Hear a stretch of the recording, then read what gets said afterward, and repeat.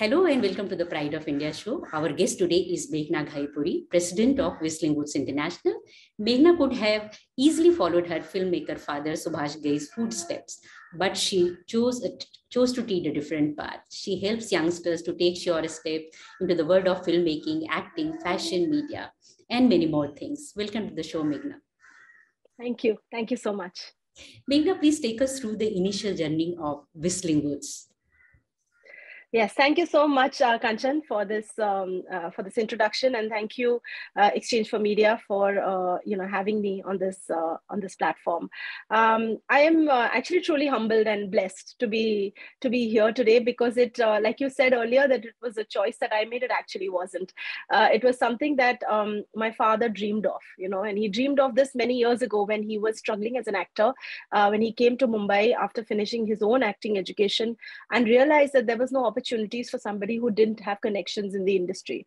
Um, and it was a promise he made to himself back then, uh, you know, over five decades ago, that uh, he would, if whenever he finds success in life and when he when he has enough money, he will give back by actually creating a platform where where youngsters who are talented come together and help each other find a way in the industry.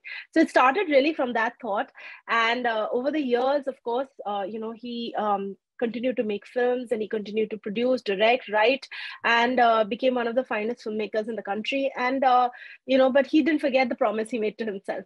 And so it was around the time that he had um, made Taal uh, he decided to launch an IPO for the company, uh, which is Mukta Arts, and uh, you know told the shareholders upfront that I would like to dedicate or or take some of this these funds and put it towards the film institute. Um, and I think that that was really the start of my own journey because I was in I was in the UK studying there and then working for some time. When my father said that you remember I used to always talk to you about you know that that I want to build a film school, and I used to say yes, yeah, I know. I remember you doing you know you do talking about it a lot, uh, but I didn't think it would be a reality because he's such a filmmaker at heart that uh, it can't you can't take him away from filmmaking and the creative process for very long. And he said that's why i want you to come back. And i want you to um, really look into the operations look into the you know the entire institute. Uh, so uh, you know to be honest i wasn't even sure back then. I was very young and i, I didn't know if i could add any value. Uh, but uh, i knew how much it meant to my father. Uh, i knew how much he how much the industry meant to him how much this country means to him. Uh, i know how much giving back to youngsters means to him uh, which is why i thought okay you know what i must i must do this as as my you know kind of way of paying back gratitude to my to my parents.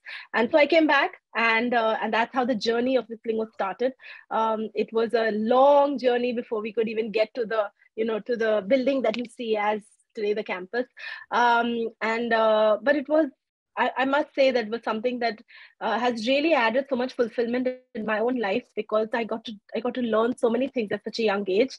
Uh, you know, whether it was from architecture to landscaping to you know to uh, technology to uh, legal uh, things and business and marketing and de- business development. I think all sorts of things you know you get to do when you're part of a startup and a startup such as this which is so unique uh, so yeah so that is uh, that is what my journey really has been with it so nice to know that we are fulfilling your father's dream and how nicely you are doing it. Thank so you. What, what were your major challenges in the beginning? As you said, Kay, you were not sure, you were very young, right? Mm. What challenges you face in the beginning? So one of the biggest challenges was there was no institute like that in India. Yeah, the one that we had planned. Of course, there was FTII, there was SRFTI, they were government-run institutions, uh, and they were very reputed. But what we wanted to do was very different. We wanted to really be a uh, be an institute which was for the industry by the industry in the industry you know and and really catering to the industry needs and uh, to make it really really practical the course so in fact you know, when we researched and we went to various institutes abroad as well, we found that there were no institutes who were uh, really being able to fill that gap between the industry and students. Very few you know some some in la a couple in new york but generally uh, institutes or uh, film institutes or art institutes tend to be secluded from the real world. Yeah there were very few that had actually connected with film companies and were making sure that the students were learning on while they were studying uh, or, or, or doing jobs and training while they are studying. So, uh, so we wanted that right balance in our institute. You know, my father, being a commercial filmmaker, understood uh, that he, you know, he, he, and the struggles that he went through as a filmmaker to really, you know, be able to uh, sustain himself and the family and the company. That he understood the the importance of business and commercials in an, in an, in a filmmaking process or a creative process, as well as he understood the artistic side of it. So the whole um, pedagogy of the institute was to bring together you know these three main st- streams which is art technology and business. Um, and i think that uh, the biggest challenge at that point was to find faculty. How would you find a faculty that would actually understand this vision understand how to uh, execute this vision?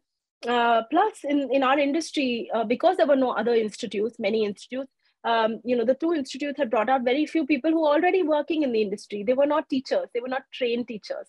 So the, the journey and the, the challenge was to bring the right team together because we could have built and we did end up building this beautiful campus but it would be nothing if we didn't have good teachers with us.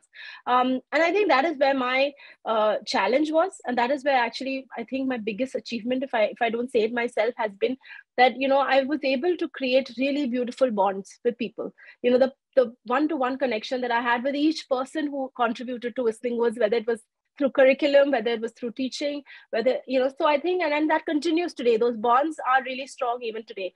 And I think that has made me a, a, a, you know, a richer person. So like they say, challenges are the ones that actually make you stronger. So I definitely feel that was the first challenge that we faced to find good faculty. Um, there were, of course, financial challenges. We were not a uh, government funded institute. We were not funded by anything. You know, we, our parent company was supporting us. So we needed to get back on our feet very, very fast. We had already spent a lot on the campus and technology on the campus, uh, but finding students at that point, way back in 2006, was a challenge. So we built this huge campus for 1,200 students, and our first batch was 75 students. So you can imagine, and that continued for many years for five to seven years we were like very very short of students because at that point um, to children or parents did not believe that you know you needed to get educated in, in the creative arts to make it in the film industry or the media industry. So it was first of all you know educating them that you know it is really really important for them to understand the craft for them to understand the skills. You know half their journey will be or their foundation will be so solid that you know they'll be able to complete their journey with more success uh, and chances of success if they are educated.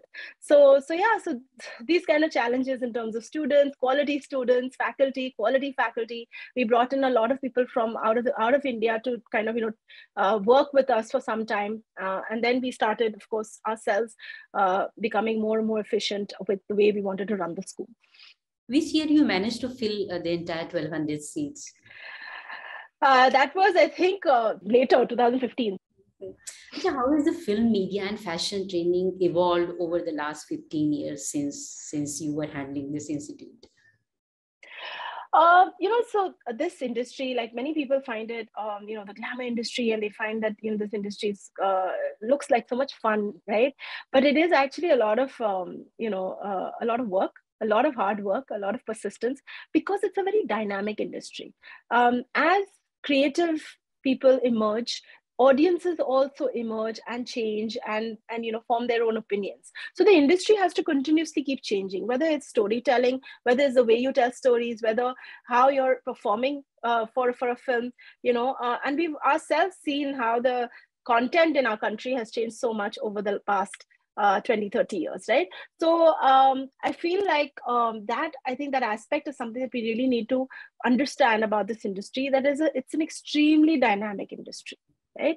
So uh, things keep changing and we have to understand that uh, fashion film um, creative arts media uh, entertainment these are areas that we are dealing with. So our responsibility um, as an institute is to always be ahead of the times always be um, thinking what is it going to be 10 years from now you know so Whistling Woods already about four years ago ventured into VR uh, filmmaking, right? Which was not even being talked about otherwise uh, in India or even in the world. It was something that they were experimenting with, but we got into it very quickly and we started training our students in it. So I think that uh, the industry is always changing. Uh, what are the changes is a very difficult question because there are so many. But um, what we must understand is that we must keep changing with the changing times. Whether whether you're a creator, whether you're an education institute, whether you're a student, uh, we need to all keep that in mind. Has COVID made it tough to, to function? Sorry, has COVID has COVID pandemic made it tough to function? Yes. they had changed yes. your approach, you know? Yeah absolutely. I mean it, it has been a difficult time for everybody and i think uh, uh, kudos to our faculty and our academics team who really shifted from gear from you know suddenly going online.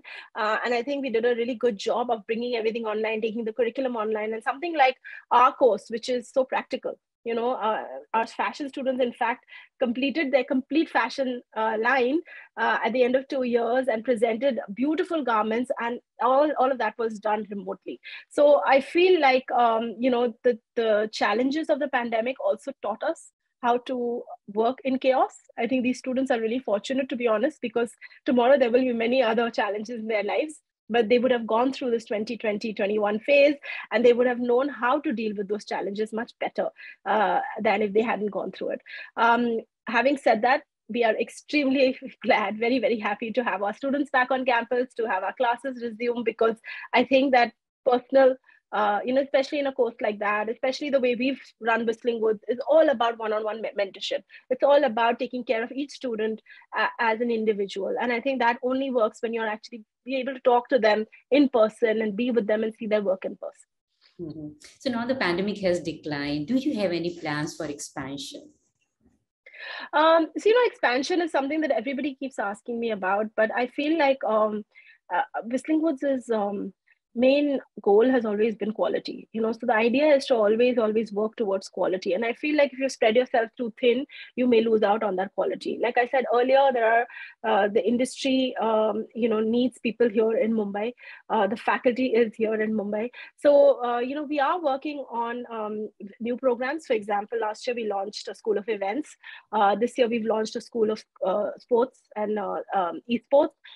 You know, so we are constantly introducing new programs into the institute so that we can grow in terms of giving students the opportunity to do what they love right? Um, the idea is that there are so many streams that that today's child today's youngster wants to get into but they don't know where to go or how to go about it.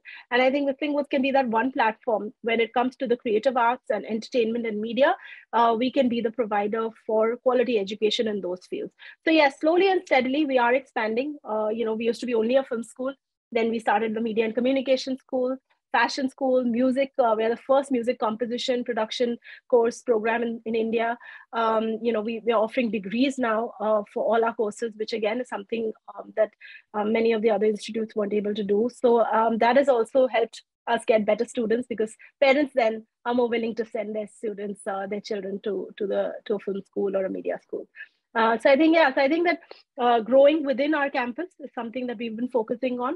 Uh, another thing that we are really, really focusing on is Virtual Academy, which is our online platform for, uh, for teaching uh, our courses online. So it's something that we've done very successfully with our film program. We have a wonderful one-year program that we are running on that. We have students doing it, uh, and uh, some of them have done really well after doing that program, which is which is excellent. Uh, I think that gives flexibility to a lot of professionals out there who uh, got stuck doing chemical engineering or you know uh, something of not which is not of their choice uh, but then um, you know have this option of virtually learning how to become filmmakers so yeah. so that is something that we are really looking forward to expand all over the country because that's virtual uh, in fact all over the world so do you have any plans to start uh, an institute in Uttar Pradesh? Because the government over there, they, they, they want to start a film industry in Noida, I guess. Yes, yes, that's right.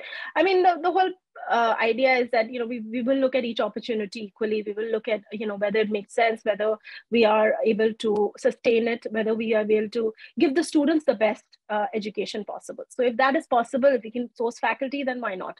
You know it's not something that we are not open to. So you're a successful leader. So what skills are necessary to be successful leader? I think the biggest biggest skill that any leader must have is that of empathy and I think that is why we are seeing more and more women leaders become successful, uh, you know, and um, entrepreneurs who are who are really, really uh, showing the way to others. Because I feel women generally are more empathetic. Uh, you know, I, I, know I shouldn't be making such statements. Very, very uh, bad of me. But men too can be empathetic. But women, I think it's it's kind of intrinsic in us.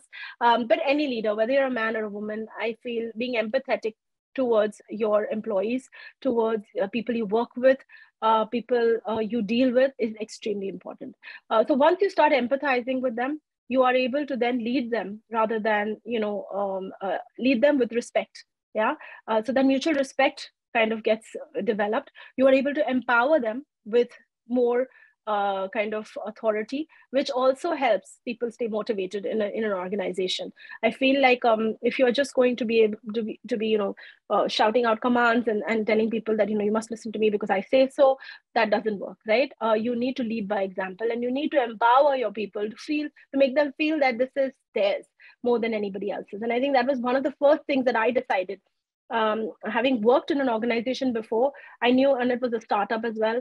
I knew how I felt when I worked there. You know, I felt like it was my own place, uh, even though I wasn't even. I was just one of the most junior employees in the company.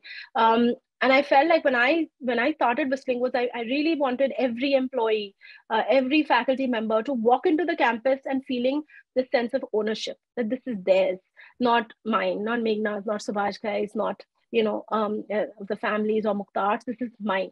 And that personal ownership, I feel really helps people stay mot- motivated. so the leader, if you empathize with people and you're able to empower them in that way, uh, you really can create a beautiful culture uh, you know, of love, respect, and loyalty. And uh, and I think that those are the things that you need for uh, really uh, building a building a place where uh, you can have good productivity as well and efficiency. Very nicely put, Meghna. Thanks for talking with us. Thank you so much. Thank you. Thank you so much, Kanchan. Thank you for having me. Bye bye.